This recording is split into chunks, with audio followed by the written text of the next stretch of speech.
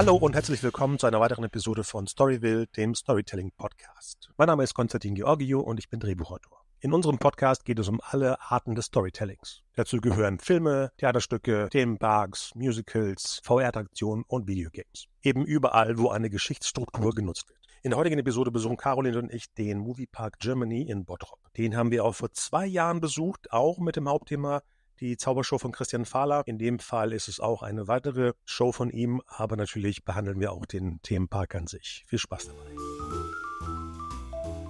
Moviepark 2024. Genau. Einer unserer Favoritenparks? Oder was würdest du sagen? Zu lange nachgedacht, verloren. Nee. Nein? Wir sind doch aber gerne da.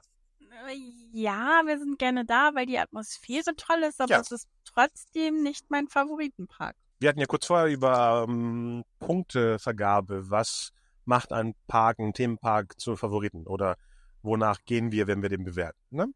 Weißt du noch, was, was das für Punkte waren? Also für, für uns Für uns, meinst du? ja. ja, ja.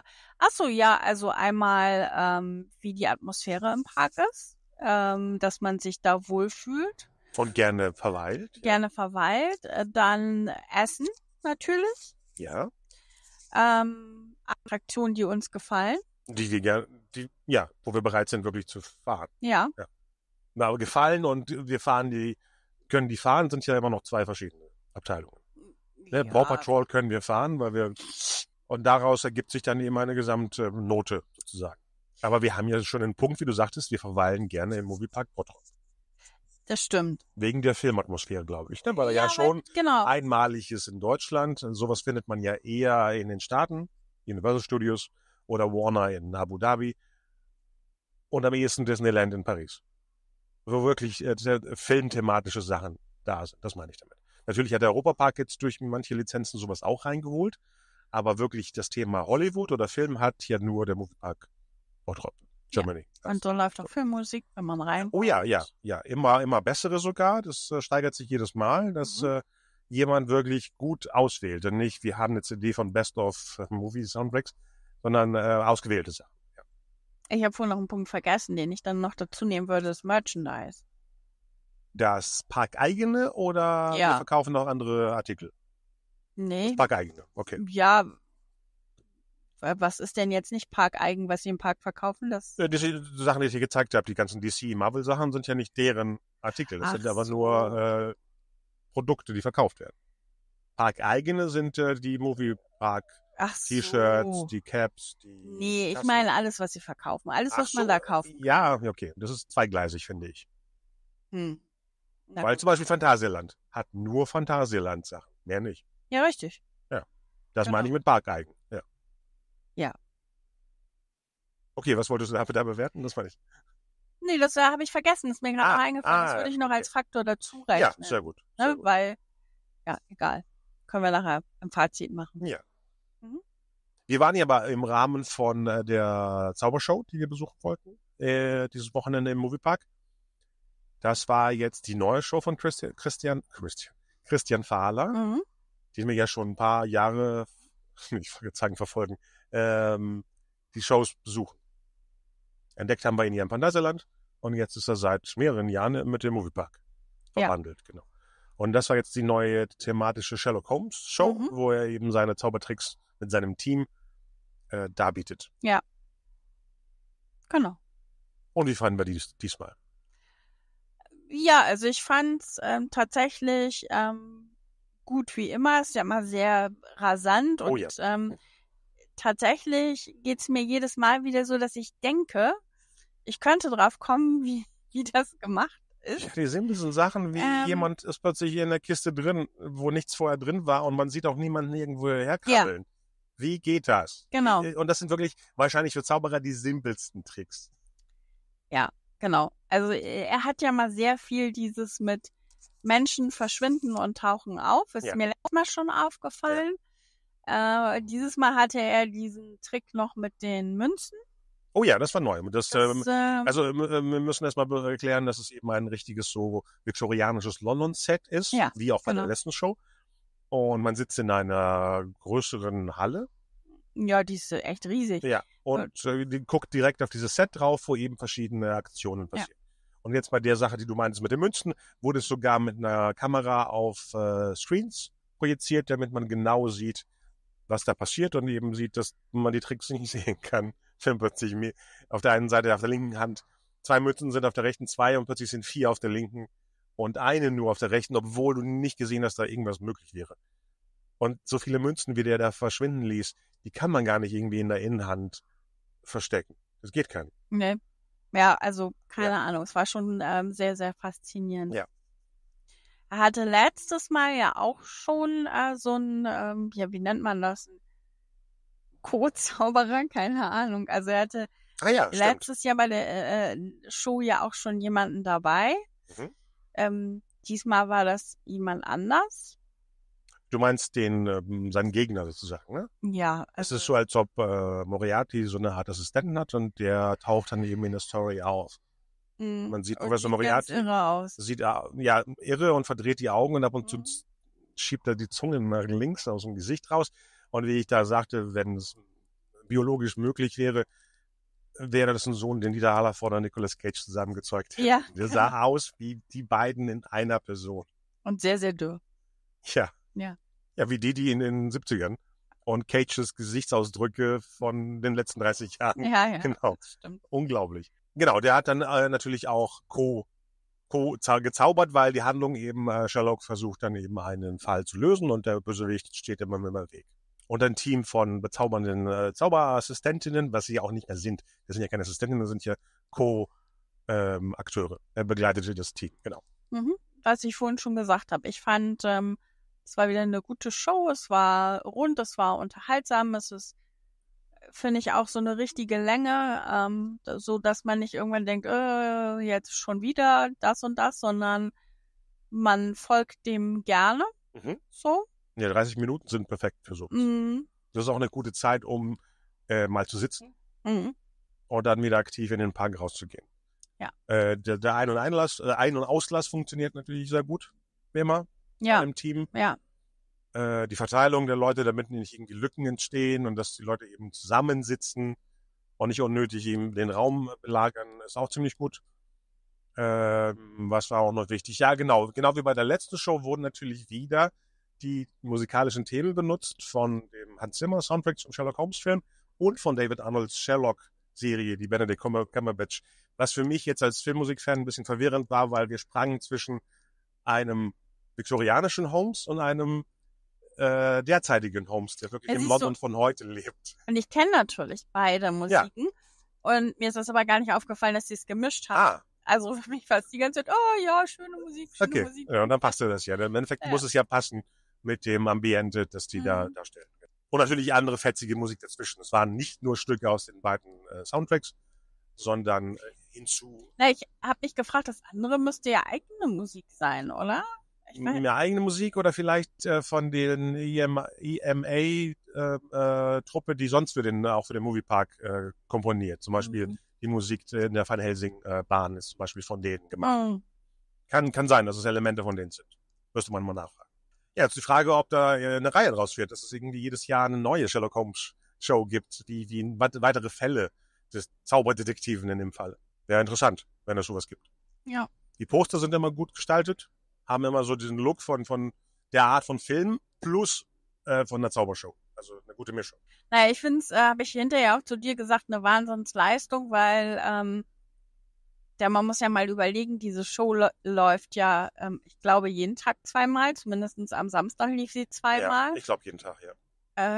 Äh, das heißt, für die Zeit, wo die Leute dann gebucht sind, also die Show dann gebucht ist, muss das zweimal jeden Tag gemacht werden. Ne? Mhm. Und ich meine, weiß ich nicht, also jeder hat ja mal einen guten und einen schlechten Tag, das kennt man ja so auch von sich. Da habe ich schon so gedacht, boah, das finde ich ganz schön heftig auch so, ne? Und ich habe ja auch zu dir gesagt, diesmal wirkt er auch so ein bisschen müde, oder? Ja, älter. Wir kennen ihn ja schon. Ja. Zehn, zwölf Jahre? Ja. Ja. Also nicht persönlich. Nee, nee. Auch wenn ich ihn damals ja angeschrieben hatte, dass ich gerne seinen ähm, sein Schüler werden wollte und dann geschrieben hatte, dass er eben keine Zauberlehrlinge ausbildet. Aber nicht, das ist jetzt kein, kein ironischer Scherz, sondern ich hatte ihn wirklich angeschrieben, weil mich das Thema interessiert. Mhm. Ja. Falls er das nochmal hört. Okay, und dann haben wir noch was zum, zur Sherlock Holmes Show? Nee. Irgendwas vergessen drumherum? Dann geht's wieder raus. Die ist ja versteckt so ein bisschen in der Western-Gegend des Parks, die ich sehr mag, weil auch die, da die Soundtracks aus vielen verschiedenen Western immer laufen. Diesmal war es ein bisschen nass und das habe ich dir gesagt, das wirkte merkwürdig, weil man sieht nie in Wilden West nass verregnet, sondern es ist meistens sehr heiß und eben wüst, wüstenartig sozusagen. Da gibt's ja auch die leckeren Pommes, die wir gegessen haben. Ja, ansonsten ähm, vielleicht noch zum Moviepark ähm, war so unser Fazit. Es ist immer so eine solide Sache, wo man weiß, was man bekommt, ne, im Moviepark. Ja, weil wir, wir wollten ja die, die unsere neue Punkte äh, oder oder nicht neue, die Punktevergabe. Äh, Wenn wir jetzt den Park nehmen, da gibt's ja unsere Lieblingsrides, die wir fahren. Mhm. Das wären ja zwei Favorit, Favoriten wahrscheinlich, ne? Wie bei mir, auch bei dir. Ja. Und das ist die Studio-Tour, diese neue. Ja, die ist, ist unglaublich nicht mehr gut. neu, ne? Ja, wie alt ist sie denn? Was war, wann war das der, der, der Geburtstag, das 25-Jährige? Drei Jahre oder so? Äh, ist das drei Jahre her? Ich meine, wenn die 96 aufgemacht haben, zwei Jahre. Ja, das war vor zwei Jahren, dass wir die okay. Bahn aufgemacht haben. Also die zwei Jahre alte Superattraktion ist immer noch klasse. Ja, und dieses Mal kam ja auch das, was wir letztes Mal gesagt haben, dass diese ganzen Intro-Shows ein bisschen zäh sind, kam ja das ziemlich kurz vor. Ich weiß nicht, bin mir nicht sicher, ob die was gekürzt haben, aber es wirkte flotter. Mhm. Und die andere Bahn, die wir gerne fahren, ist eben Van Helsing, mhm. wo wir aber das Gefühl haben, dass von Jahr zu Jahr irgendwas verschwindet. Ja, also es war ja hauptsächlich dunkel, also ja. diese Sachen mit dem Labor und was man vorher da ja. sehen konnte. Ähm, ich weiß nicht, ob sie einfach das Licht ausgemacht haben oder so nach und nach einfach Sachen keine lassen. Ahnung, verschwinden oder wie auch immer. Ich finde es so ein bisschen schade. Also ich finde, es wirkt ein Stück weit so ein bisschen lieblos mittlerweile. Also auch wie sie den Bereich, also sie haben ja Gott sei Dank diesen Schlauch, wo die, Arme, Arme, und Beine und also die Arme. ganzen Überreste runterbommeln und ja. ab und zu mal jemand schreit, ähm, haben sie ja verkürzt, was ich total an sich total gut finde, ja. weil ich das nie mochte. So ich fand es einfach zu eng und zu, weiß beklemmend, ich nicht, ja. beklemmend und dann sollte das ja natürlich gruselig sein mit den Schreien und ich fand es eher immer nervig, wenn man da lange drin stand. Ja. So. Das finde ich, aber sie haben das auch so lieblos gemacht, einfach so weggeklemmt irgendwie.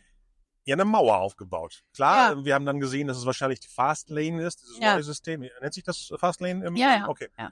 Äh, dass dann eben von der Seite aus Leute, die eben ein Bonusticket äh, sich kaufen, äh, schneller reinkommen. Hm. Klar, das ist die beste Möglichkeit, um Klar. bei etwas, was schon äh, da ist, es einzubauen.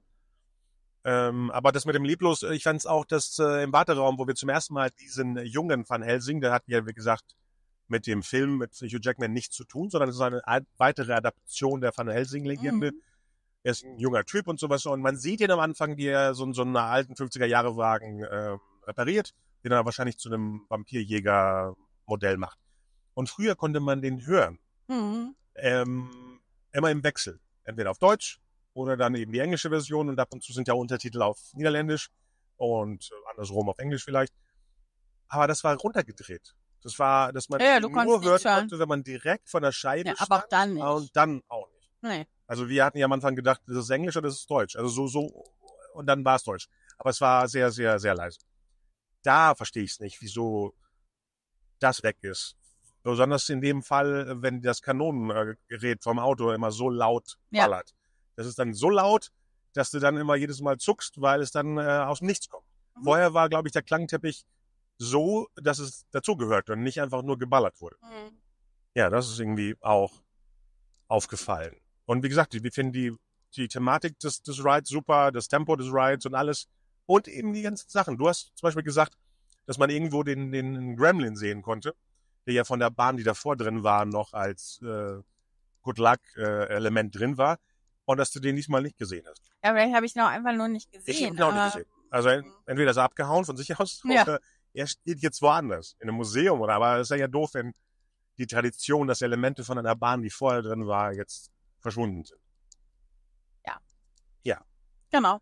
Aber ich, also für mich hat sich das so ein bisschen wie so ein roter Faden durchgezogen, ne? Um mal äh, also dieses bisschen lieblos. Also um mal jetzt äh, was Positives zu sagen, wir mögen ja einfach die Atmosphäre, ne? wenn man durch den Moviepark geht. Ja. Irgendwie ist die Aufteilung gut und man kann immer irgendwo auch verweilen und ähm, ja, es entstehen nie so auch Menschenknäuel Nee, oder so, nee. sondern es gibt immer so einen Fluss. Also wie auch immer sie sich das überlegt haben, das äh, funktioniert gut. So.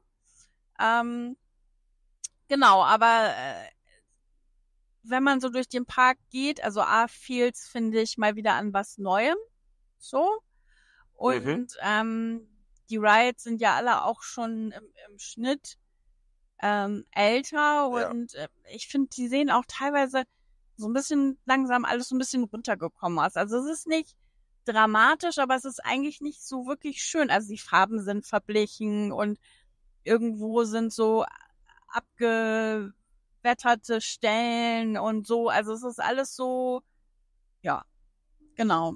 Ja, zum Beispiel die Ecke, die ja eigentlich neu ist, wo die Starfleet Academy ist, wo Star Trek Ja. ist, sieht jetzt schon äh, verlassen aus. Und im Endeffekt müsste Ja. man das pflegen, weil wie viele Orte auf diesem Planeten gibt es, wo Star Trek äh, so eine Art Basis hat? Also ich würde das nochmal pflegen. Ich weiß nicht, ob ich es in der letzten Episode auch gesagt habe, äh, die mit dem Moviepark zu tun hatte. Das ist so eine Art Mekka. Also Star Trek-Fans Ja, ja, gehen ja gerne irgendwo gesagt, hin und ja. treffen sich. Und wenn man das nicht irgendwie, ähm, wie nennt sich das, nurtured, äh, pflegt, Mhm. äh, ja, finde ich schade. Finde ich schade. Es ist genau wie ich, ne, ich habe das glaube ich bei, bei Heidepark gesagt, dass die als einzige eine Ghostbusters-Attraktion haben. Und da sammeln sich die Ghostbusters-Fans und treffen sich vielleicht einmal im Jahr, alle zwei Jahre, keine Ahnung. Und dann machst du das eben als, ich bin der geile Park, der nur das anbietet. In Deutschland oder europaweit oder bei manchen Fällen sogar weltweit. Ich glaube, Ghostbusters könnte sogar weltweit im Heidepark sein. Nur als Beispiel. Und das wäre Star Trek in dem Falle. Das wäre, haben wir noch was? Was so ist im äh, Moviepark? Nee, noch nicht. Nee. Noch nicht. Was zu einer Franchise gehört. Genau. Und das gleiche auch der Star Trek Laden. Theoretisch könnte man sich da kaputt kaufen äh, an äh, Waren, aber das sind immer so kleine ausgewählte Sachen.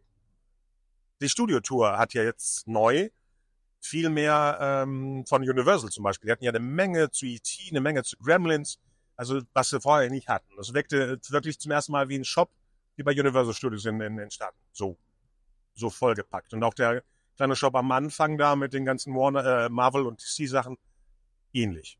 Mhm. Das ist gut äh, gefüllt. Und dann kommen wir zu dem anderen, äh, was wir gut finden, aber nicht gut finden gleichzeitig. Das ist eben dieses tolle 4D-Kino, das super ist, aber seit Jahren nicht mal was Anständiges drin bieten kann. Genau, da lief so ein Tom und Jerry ähm, Clip, der so zusammengeschnitten aussieht aus dem Film. ne? Ja, aus dem letzten Film, der Ja. vor äh, vier Jahren rauskam. Genau. Und ja, eigentlich müsste ich mir die alte Episode angucken, ob wir darüber sprechen, weil ich hatte vergessen, dass wir schon mal wohl drin waren. Genau. Und ähm, ja, man muss sagen, das Kino ist einfach, finde ich, toll, auch wenn Ja. man reinkommt. Das hat hohe Decken, das sieht alles ähm, super aus. Technik ist wahrscheinlich am neuesten Stand Das und alles. weiß ich nicht, aber also die Stühle auf jeden Fall mal nicht. Äh, Ja, Ja, ja. wenn du sagst, Technik ist auf neu, Nee, weil das, Technik meine ich Filmtechnik. ja, äh, äh, ja, dann musst du es sagen. Ähm, also da muss ich wirklich, kann ich jedem nur davon abraten, da reinzugehen. Es sei denn, ähm, ihr habt wirklich, euer Rücken ist super gut in Schuss. Also wir hatten beide keine Probleme, aber ich hatte jedes Mal Panik, dass ich danach vielleicht Probleme hätte, weil, mein dieses 4D ist ja sowieso so eine Sache, muss man ganz ehrlich sagen, ähm, in den seltensten Fällen wirklich geil. Ne? Man geht da rein und denkt so, ach Mann, vielleicht wird man ja mal positiv überrascht, aber ich, also so richtig geil fand ich es noch nie. Oder kannst du dich irgendwo dran erinnern, wo wir drin waren und dann dachten, Mensch, wir gehen gleich nochmal. Hm, nicht vom Rütteln und Schütteln, Ja, sondern das vom meine ich. auf alles Ja, ich rede, gemacht. nee, ich rede ja vom 4D. Ja, die, die 4D, die du nie gesehen hast, die, die geilste war, aber ich weiß jetzt nicht, wie sie jetzt wirken würde, ist die Terminator 2 3D-Version in, in äh, Florida. Gibt's leider nicht mehr, wo alles stimmt. Ja. Aber vielleicht würde ich jetzt sagen, oh Mensch, da hört man auch das ganze äh, Gequietsche von den Stühlen. Kann ja auch sein, dass ich das damals weggedacht habe. Aber Ja. jetzt ist es ja, dieses hydraulische ist so laut. Nee, das ist nicht es ist laut, ist. es ist nicht so, on point, also Nee, es, oh ja. es passte Ah. nicht zum Film. Das heißt, du wurdest immer hinterher geschüttelt, Ja, immer nachdem Sekunden die Szene später. vorbei war. Ja. Und ich muss auch ganz ehrlich sagen, es war eigentlich auch ja nur, es ruckelte immer extrem unangenehm Mhm, mhm. und es passte oft auch gar Nee. nicht. Also es war mal, man wurde nach vorne, nach hinten gekippt und ich dachte, so was hat das jetzt mit dem Film zu tun und ich war mal froh, wenn dieses Geruckel wieder aufgehört hat. Ja. Es war nur unangenehm Und, Und- laut. und laut. Ja, also ja, total schade. Also weiß ich nicht, ich würde da alles rausreißen, ganz ehrlich. Also Und ein richtiges Kino machen. Äh, Wir Ja. haben am besten was Tolles zeigen. Es muss ja nicht 4D sein. Vielleicht ist es Kurzclips der besten äh, Animationsfilme, für die man die Rechte sich holen kann. Ne, früher, als Warner war, ja, oder klar waren da Warner oder Kurzfilme drin, aber Making of auf Attraktionen. Oh ja, Oder du meinst wie das Äh. Infocenter im Europapark, wo man Sachen sieht, die äh, geschichtlich sind oder, ja, oder Efteling macht das super. Ach ja, genau, Efteling macht ja immer bei neuen Attraktionen, kriegst du ja immer so kleine Häppchen mit neuen, ähm, Ja. wo sie gerade dran sind und so. Entweder sowas, also ich glaube, Möglichkeiten gäb's Ja, da genug oder irgendwie best auf irgendwelche alten Shows, Gesch ja, geschichtliches. Ich meine, der Moviepark hat ja jetzt 25 plus Jahre Ja. ähm, drauf. Da ist eine Menge Material. Man sieht ja auch viele coole Fotos bei dieser Studiotour. Ja. Da sieht man auch Premieren aus den 90ern, wo Tom Hanks, äh, wer auch immer da war, als Batman, Ja. Val Kilmer, Batman, George Clooney. Das ist ja alles aus der Zeit. Da ist bestimmt noch Material, was man wirklich auf der großen Leinwand natürlich in verminderter Qualität, aber heutzutage kann man viel reparieren, äh, präsentieren könnte. Immer so in 10 Minuten Häppchen. Genau, oder letztes Jahr hatten sie ja das erste Mal ähm, zur Weihnachtszeit offen, also so ein Ja, das wollen wir uns mal gerne angucken. Ja. Christmas-Dings. Ähm, genau, da wären wir gern hingegangen, haben wir nicht geschafft, aber das wäre ja vielleicht auch ganz interessant für so Leute ähm, wie, wie dich und mich, die das interessiert, dass man da vielleicht auch mal irgendwie so einen Zusammenschnitt aus den besten Momenten oder so zeigt, aus den Shows, aus wie das geschmückt war. Ja, und, ja, und, oder und, mit, wie du sagtest, Making of. Wie macht man Ja. plötzlich Weihnachten? Ja. Aus dem Nichts. Das Ja. wäre sehr interessant, ja. Ja. Also, wie gesagt, Ideen hätten wir, ihr könnt uns gerne kontaktieren, ähm, Wir können das auch filmen. lieber Moviepark. Ähm, noch und nöcher, wie ihr merkt. Aber das ist echt, äh, also so wie es im Moment ist, ist es einfach, äh, finde ich, kann man sich das einfach sparen. So. Ja, es ist, also als, als Bedrohung, als, nicht Drohung, als Bedrohung, es könnte langsam zum 4D-Kino Phantasialand verkommen. Ja, Und die, das ist richtig schlimm. ja, genau. Das ist Spitze des Eisbergs. Also, wenn man äh, sehen möchte, wie es in der Zukunft sein könnte, schnell mal nach Brünn fahren und diesen komischen Piratenfilme Ja. gucken. Aha. Puh, puh. Oh ja. Ja. Genau, Essen ähm, ist leider auch nach wie vor, also letztes Mal hatten wir es ja so gefeiert, dass die so einen so einen tollen ähm, Food, Foodtruck da hatten, der auch ähm, veganes Essen hatte. Wo war der denn? Ähm, der war da bei der Westernstadt davor, bei diesem Pier. Ach ja. ja Genau. Ja, ja. Und dieses Mal leider kein Foodtruck, aber leider auch, ähm, ja, also jetzt kein tolleres oder besseres Angebot. Insgesamt ähm, finde ich im Moviepark nach wie vor ähm, ist es halt sehr, sehr fast food-mäßig. Also selbst dieser neue Pizzaladen da, ähm, Pizza ist ja auch irgendwie ähm, Fast Food. Ich fänd's halt echt cool, wenn es auch mal ähm, bisschen gesünderes Essen da geben würde. Ähm, Finde ich, ist auch der Moviepark so von den, von den anderen Parks in Deutschland wirklich hinten dran. Also sowohl im Phantasialand, ähm, als auch im Europapark, Oh ja, als ja. auch, also ne, du kannst eigentlich überall besser essen als im Moviepark. Und wir essen gerne in, in Themenparks. Ja, genau. Ja. Und Pommes ist ja auch mal super, haben wir ja diesmal auch gegessen, aber es wäre halt einfach auch schön, wenn man ähm, auch mal andere Sachen essen könnte, ne? Und wenn es nur so eine Pilzpfanne oder sowas wäre, was jetzt auch kein Riesenaufwand ist. Wir waren dann noch bei Dunkin' Donuts und haben uns gefreut, dass es, äh, Was Gesundes gibt. nee, eben nicht, aber dass es mittlerweile viele äh, vegane Donuts auch gibt. Oh ja, der Boston Cream Boston Cream, ja. in vegan. Creme, wie er jetzt heißt. Creme, Boston. Creme. K. Könnte auch Cremant sein. Nee. Nee? Okay. Nee, nee. Und der Eis Americano mit der Hafermilch. Ja. Sehr gut. Sehr gut. Im Grunde genommen sind wir die Punkte durch bis auf Merch. Da hast du ja schon viel dazu gesagt. Stimmt, eigentlich müssten wir auch Punkte für die, für die musikalische Thematisierung drumherum. Und da ist er ziemlich gut. Wo, wo waren wir, wo wir gesagt haben, da läuft überhaupt keine Musik? Ach, eher bei, beim, bei der Nickelodeon-Ecke. Ja. Wo es eigentlich am lautesten und craziesten sein sollte. Bei der Wild, hier ist das Ding mit der wilden Maus da hinten. Ähm, da. Ähm, ja, Entweder hat jemand Racer. vergessen, Nee, an dem, dem, an dem Tag die Musik anzuschmeißen oder ich weiß nicht, was das sollte. Und die quietscht mittlerweile auch so brutal. Sehr, sehr brutal. Und manchmal kann das Musik ja auch ver, ver, ver, ver, verlaufen lassen, verspielen lassen. Da, da war das echt ganz komisch stumm.